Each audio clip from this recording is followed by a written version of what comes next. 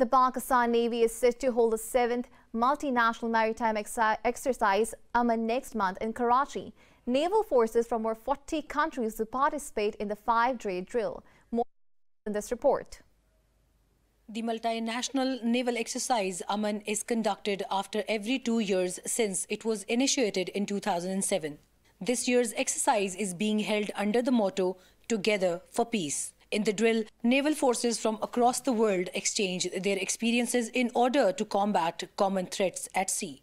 The Pakistan Navy officials say the drill has played a significant role in enhancing the country's war and maritime security capabilities. Pakistan Navy gets uh, uh, a lot of experience from all these exercises.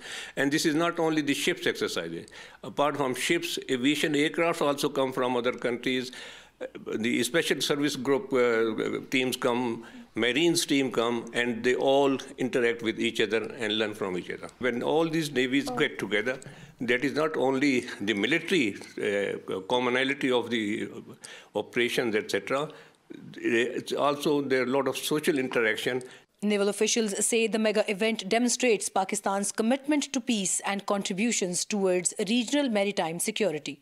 That is a great leap ahead in the context of, uh, I would say, the cooperation and uh, enable peace and um, to enhance uh, security, regional security, and um, that is to enhance the interoperability between the regional and uh, extra-regional navies.